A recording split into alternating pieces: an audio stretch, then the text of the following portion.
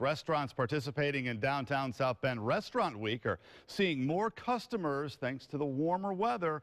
WSBT 22's Heather Black talked to a few restaurant owners. And Heather, how do they feel about this year's turnout? Well, Rick, they're excited to see so many people coming to downtown areas supporting local restaurants. I asked some owners how this year's restaurant week is different from years before. Snow was piled high just two years ago during Restaurant Week in downtown South Bend.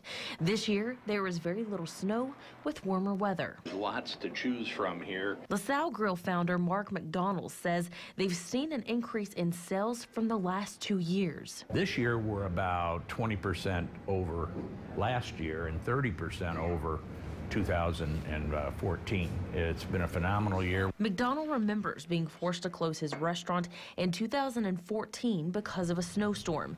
He says this year's turnout is more than just better weather. A combination of things. We have wonderful weather, and gas prices are lower than they've been in years and years and years. And I think that gives people a sense that they've got extra money in their pocket.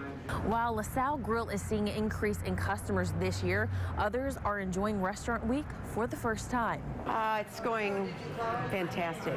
We have, have been overwhelmed with visitors all last week, all through the weekend. Tapestry is a new downtown restaurant that has only been open for 11 weeks. Manager Peggy Swihart says Restaurant Week is important to introducing the community to their unique taste. People are coming down to check out the restaurants, and it's a huge draw uh, just to expose what's down here. And 18 downtown restaurants are part of Restaurant Week, and 10% of all the proceeds made from the two weeks go to Memorial Children's Hospital. And if you want to see the full list of the restaurants, you can go to our website, WSBT.com. Rick?